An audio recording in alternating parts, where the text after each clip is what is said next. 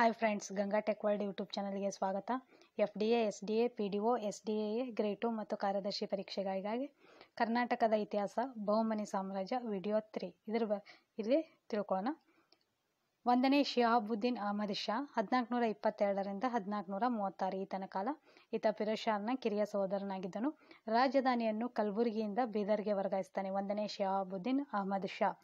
Next ಕಾರಣಗಳು ಏನಂದ್ರೆ ಈತನ ಆಂತರಿಕ ದಂಗೆಗಳು, ಕಲಹಗಳು, ಕೊಲೆಗಳು ಈತನ ಆಳ್ವಿಕೆ ಸಂದರ್ಭದಲ್ಲಿ ನಡೀತವೆ. ಅದರಿಂದ ಅವನು ತನ್ನ ರಾಜಧಾನಿಯನ್ನು ಕಲಬುರಗಿಯಿಂದ ಬೀದರ್ಗೆ ವರ್ಗಾಯಿಸ್ತಾನೆ. ಯಾರು ವರ್ಗಾಯಿಸ್ತಾರೆ ಅಂದರೆ ಒಂದನೇ ಶಿಹಾಬುದ್ದೀನ್ ಅಹಮದ್ ಶಾ.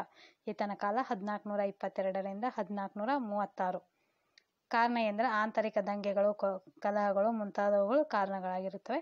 ನೆಕ್ಸ್ಟ್ ಈತ ತನ್ನ ರಾಜಧಾನಿಯನ್ನು ಕಲಬುರಗಿಯಿಂದ ಬೀದರ್ಗೆ ವರ್ಗಾಯಿಸಲು ಅತ್ಯಂತ ಪ್ರಮುಖ ಕಾರಣ ಏನಾಗಿತ್ತಂದ್ರೆ ಮುಖ್ಯ ಕಾರಣ ಏನಂದ್ರೆ, ಈತನ ನೆಚ್ಚಿನ ಸಂತ ಇರ್ತಾನೊಬ್ಬ ಯಾರಂದ್ರೆ, ಹಜರತ್ ಗೇಸ್ ದರಾಜ್. ಈತನ ಕೊಲೆ ಆಗುತ್ತೆ ಆಂತರಿಕ ದಂಗೆಗಳ ಸಂದರ್ಭದಲ್ಲಿ. ಇದರಿಂದ ಬೇಸತ್ತು ಕಲಬುರಗಿಯಿಂದ ರಾಜಧಾನಿಯನ್ನು ಬೀದರ್ಗೆ ವರ್ಗಾಯಿಸ್ತಾನೆ. ನೆಕ್ಸ್ಟು, ರಾಜ್ಯದಲ್ಲಿ ಭೀಕರ ಪ್ರವಾಹ ಬಂದಾಗ ಪ್ರಜೆಗಳ ಪರವಾಗಿ ಪ್ರಾರ್ಥನೆ ಮಾಡಿ ಸಂತ ಅಥವಾ ವಲಿ ಬಿರುದನ್ನು ಪಡೆಯುತ್ತಾನೆ. ಇವನ ಆಳ್ವಿಕೆಯಲ್ಲಿ ಸ್ವದೇಶಿ ಮತ್ತು ವಿದೇಶಿ ಮುಸಲ್ಮಾನರ ಘರ್ಷಣೆಗಳು ಪ್ರಾರಂಭವಾಗುತ್ತವೆ. ಅತ್ಯಂತ ಮುಖ್ಯ ಕಾರಣ ಎಂದರೆ ಈತ ನೆಚ್ಚಿನ ಸಂತ ಹಜರತ್ ಗಿರ್ದಾ, ಗೇಸ್ ದರಾಜನ ಕೊಲೆಯಿಂದ ಬೇಸತ್ತು ಕಲಬುರಗಿಯಿಂದ ರಾಜನನ್ನು ಬೀದರ್ಗೆ ವರ್ಗಾಯಿಸ್ತಾನೆ.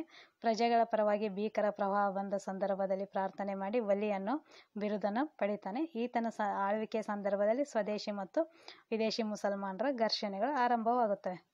ಈತನ ಆಳ್ವಿಕೆಯಲ್ಲಿ ಕಿರ್ಮಾನ್ ಶಾನ ಮಗ ಕಲಿವುಲ್ಲಾ ಬೀದರ್ಗೆ ಬರ್ತಾನೆ.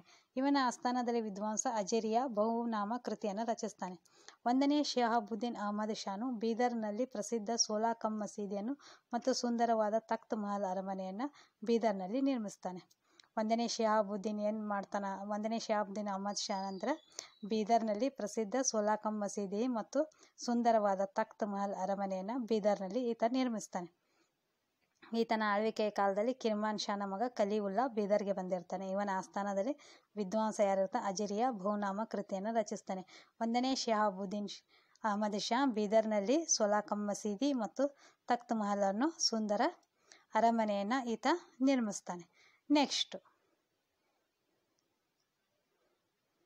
ಎರಡನೇ ಅಲಾವುದ್ದೀನ್ ಅಹಮದ್ ಶಾ, ಎರಡನೇ ಅಲಾವುದ್ದೀನ್ ಅಹಮದ್ ಶಾ ಹದಿನಾಲ್ಕುನೂರ ಮೂವತ್ತಾರರಿಂದ ಹದಿನಾಲ್ಕುನೂರ ಐವತ್ತೆಂಟು. ಈತನ ಆಳ್ವಿಕೆಯಲ್ಲಿ ಬೀದರ್ನಲ್ಲಿ ಪಶು ವೈದ್ಯಾಲಯ ಸಾರಿ ವಿದ್ಯಾಲಯವನ್ನು ಸ್ಥಾಪಿಸಲಾಯಿತು. ಇವನ ಕಾಲದಲ್ಲಿ ನಡೆದ ಯುದ್ಧಗಳಲ್ಲಿ ಈತ ಸೋಲಲು ಕಾರಣ ಅಫಾಕಿಯರು ಅಂದರೆ ವಿದೇಶಿ ಮುಸಲ್ಮಾನರು ಕಾರಣ ಎಂದು ಸ್ವದೇಶಿ ಮುಸಲ್ಮಾನರು ಹೇಳಿದ ಮಾತನ್ನು ನಂಬಿ ಈತ ಏನು ಮಾಡ್ತಾನೆ? ಸಾವಿರಾರು ಮುಸ ಅಫಾಕಿ ಅಂದರೆ ವಿದೇಶಿ ಮುಸಲ್ಮಾನರನ್ನು ಚೌಕ, ಚೌಕನ್ ಪ್ರದೇಶದಲ್ಲಿ ಅಪಾಕಿಯರನ್ನು ಕೊಂತಾನೆ ಅಂದರೆ ಅಫಾಕಿಯರ್ ಅಂದರೆ ವಿದೇಶಿ ಮುಸಲ್ಮಾನರನ್ನು ಕೊಲೆ ಮಾಡ್ತಾನೆ. ಇವನ ಆಳ್ವಿಕೆಯಲ್ಲಿ ಈ ಥರ ಒಂದು ದುರಂತ ನಡೆಯುತ್ತೆ ಎರಡನೇ ಅಲಾವುದ್ದೀನ್ ಅಹಮದ್ ಶಾ, ಹದಿನಾಲ್ಕುನೂರ ಮೂವತ್ತಾರರಿಂದ ಹದಿನಾಲ್ಕುನೂರ ಐವತ್ತೆಂಟು. ಇವನ ಕಾಲದಲ್ಲಿ ತಾನು ಯುದ್ಧಗಳಿಗೆ ಸೋಲಲು ಕಾರಣ ವಿದೇಶಿ ಮುಸಲ್ಮಾನರಂತೆಯೇ ಸ್ವದೇಶಿ ಮುಸಲ್ಮಾನರ ಮಾತು ಕೇಳಿ ಸಾವಿರಾರು ವಿದೇಶಿ ಮುಸಲ್ಮಾನರನ್ನ ಕೊಲೆ ಮಾಡ್ತಾನೆ. ನೆಕ್ಸ್ಟ್ ಸತ್ಯದ ಅರಿವಾಗಿ ಅಫಾಕಿ ಅಂದರೆ ವಿದೇಶಿ ಮುಸಲ್ಮಾನರನ್ನು ಉನ್ನತ ಹುದ್ದೆಗಳಿಗೆ ನೇಮಿಸಿದನು ಅಥವಾ ನೀಡಿದನು. ನೆಕ್ಸ್ಟ್ ಇವನ ನಂತರ ಯಾರು ಅರಸ ಬರ್ತಾನಂದ್ರೆ ಅಲಾವುದ್ದೀನ್ ಹುಮಾಯೂನ್ ಈತನ ಕಾಲ ಹದಿನಾಲ್ಕುನೂರ ಐವತ್ತೆಂಟರಿಂದ ಹದಿನಾಲ್ಕುನೂರ ಅರವತ್ತೊಂದು ಈತ ಬಹುಮನಿ ಸುಲ್ತಾನರಲ್ಲೇ ಆಯಿತ. ಅತ್ಯಂತ ಕ್ರೂರ ಸುಲ್ತಾನ್ ಆಗಿದ್ದನು ಜನ ಈತನನ್ನು ಜಲೀಂ ದಬ್ಬಾಳಿಕೆ ರಾಜ ಅಂತ ಕರಿತಿದ್ರು. ಈತ ಮೊಹಮ್ಮದ್ ಗವಾನನ ನಾಯಿಬ್ ಹುದ್ದೆಗೆ ನೇಮಿಸ್ತಾನೆ. ಇವನಿಗೆ ಸತ್ಯದ ಅರಿವಾಗಿ ಏನು ಮಾಡ್ತಾನೆ ಅಫಾಕಿಗಳನ್ನ ಉನ್ನತ ಹುದ್ದೆಗಳಿಗೆ ಏರಿಸ್ತಾನೆ ಅಥವಾ ನೀಡುತ್ತಾನೆ ನೆಕ್ಸ್ಟು ಅಲ್ಲ, ಈತನ ನಂತರ ಆಳ್ವ, ಆಳ್ವಿಕೆ ಬಂದವನು ಅಲಾವುದ್ದೀನ್ ಹುಮಾಯನ್ ಎಂಬ ಸುಲ್ತಾನ. ಈತನ ಕಾಲ ಹದಿನಾಲ್ಕುನೂರ ಐವತ್ತೆಂಟು ಅರವತ್ತೊಂದು ಜನ ಈತನನ್ನು ಜಾಲಿಂ ಕ್ರೂರ ಸುಲ್ತಾನ, ದಬ್ಬ ಅಥವಾ ದಬ್ಬಾಳಿಕೆ ರಾಜ ಎಂದು ಕರೀತಿದ್ದರು. ಈತ ಮೊಹಮ್ಮದ್ ಗವಾನನಿಗೆ ನಾಯಿಬ್ ಹುದ್ದೆಯನ್ನು ನೀಡಿದನು. ನೆಕ್ಸ್ಟು ಈತನ ನಂತರ ಆಳ್ವಿಕೆ ಮಾಡಿದ ಅರಸರು ಯಾರಂದ್ರೆ, ಮೂರನೇ ನಿಜಾಮ್ ಉದ್ದೀನ್ ಅಹಮದ್ ಶಾ.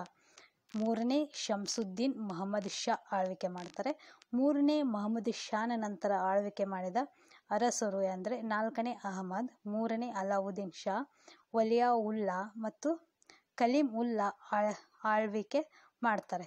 ಇವು ನೆಕ್ಸ್ಟು ಯಾರ್ಯಾರಂದ್ರೆ ಮೂರನೇ ಅಹಮದ್ ಶಾನ ನಂತರ ಆಳ್ವಿಕೆ ಮಾಡಿದ ಅರಸರು ನಾಲ್ಕನೇ ಅಹಮದ್, ಮೂರನೇ ಅಲಾವುದ್ದೀನ್ ಶಾ ವಲಿಯಾ ಉಲ್ಲಾ ಮತ್ತು ಕಲೀಂ ಉಲ್ ಲಾ ಅನ್ನೋ ಈ ಎಲ್ಲ ಅರಸರು ಇವರ ನಂತರ ಆಳ್ವಿಕೆ ಮಾಡ್ತಾರೆ.